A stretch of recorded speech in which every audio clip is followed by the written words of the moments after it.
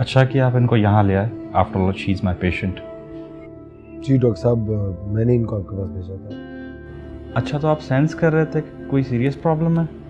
Doctor साहब problem तो बहुत अरसे से थी लेकिन नीना डिनाइल में थी। हमेशा यही कहती थी कि प्रॉब्लम तुम्हारे साथ है मेरे साथ नहीं है। आप इनके साथ आ सकते थे आमने सामने बैठ के बात हो सकती थी प्रॉब्लम रिजॉल्व हो सकते थे। डॉक्टर साहब अगर मैं इसके साथ आता तो हमारे मसले रिजॉल्व होने की बजाय और उलझ जाते ये आपसे खुल के फ्रैंकली बात नहीं कर पाती और इस बात के भी चांसेस हैं कि शायद मेरी और इसकी बहस ही छिड़ जाती। और आपको गुस्सा आ जाता था? गुस्सा? डॉक्टर साहब मुझे तो गुस्सा बिल्कुल आखिर में आता था जब जब इसकी बातें बर्दाश्त से बाहर हो जाती थी। किस बात पे गुस्सा आता था?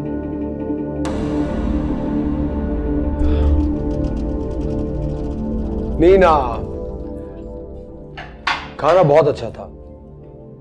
सब लोग बहुत तारीफ़ कर रहे थे। खास तौर पे नताशा। कह रही थी तुम्हारी बीवी तो बहुत अच्छा खाना बनाती है। अच्छा? और किस किस चीज़ की तारीफ़ कर रही थी नताशा? क्या मतलब?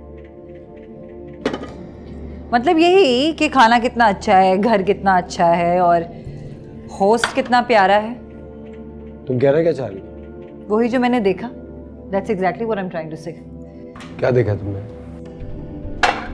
वही जो तुम कर रहे थे उसके आगे पीछे घूम रहे थे उस पे फिदा हो रहे थे। तुम सुन भी रही हो कि तुम क्या कह रही हो? She is my senior partner office वो मेरी बॉस है। अच्छा बॉस है। तो फिर बॉस को इस तरह खुश किया जाता है? तुम्हारा तो बस नहीं चल रहा था कि तुम उसको अपनी बाहों में ले लो अपनी गोद में बिठा लो उसे। मेरे सामने तुम इतना सब कुछ कर रहे थे।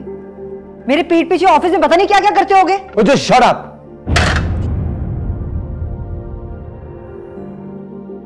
रुको रुको मेरी बात सुनो। क्यों सुनू मैं तुम्हारी बात? मैंने अपनी आँखों से देखा तुम जो कर रहे थे। तुम उसमें चिल्ला क्यों रही हो? मेरी गलती क्या वो मेहमान थी हमारे घर में। मेहमान थी या तुम्हारी जान? बिल्कुल पागल हो गई हो। हाँ मैं पागल हो गई हूँ। हाँ मैं पागल हो गई हूँ। मैं पागल हो गई क्योंकि मैंने तुमसे शादी की है। और मैं पागल हो गई हूँ। मैं पागल नहीं हो गई तुम पागल हो गए हो। तुम पागल हो गए हो